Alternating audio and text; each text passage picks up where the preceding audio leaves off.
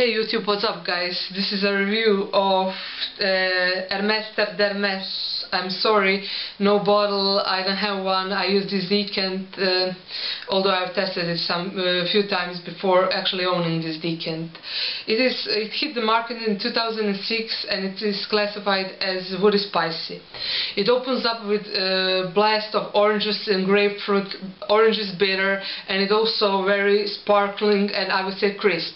Then pepper comes into play and uh, well it actually takes a bit of freshness from oranges.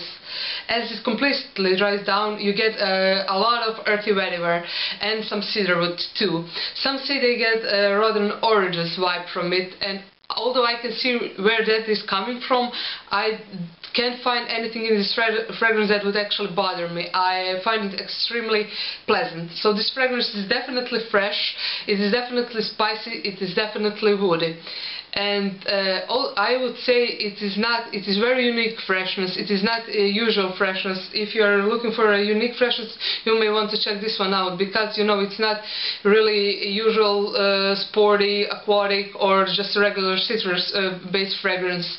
This is quite a unique freshness and I would also say it has a quite a mature vibe. I would say for guys 25 and up and uh, it is great uh, to be considered as a signature fragrance because it works in all seasons.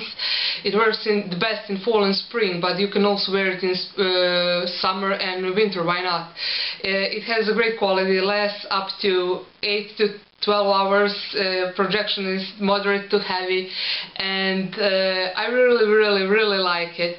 So this one is um, suitable I would say more for daytime although yeah you can pull it off by uh, night too. It's quite quite versatile uh, unique and a wonderful wonderful blend. Uh, I would say if you're looking for a unique freshness with mature vibe, not just sporty freshness, aquatic freshness, but you want something classy, then you, may want to check uh, out Hermes Terre d'Hermes, although you have to like, uh, like earthy vetiver because there, there is a lot of earthy vetiver in this one.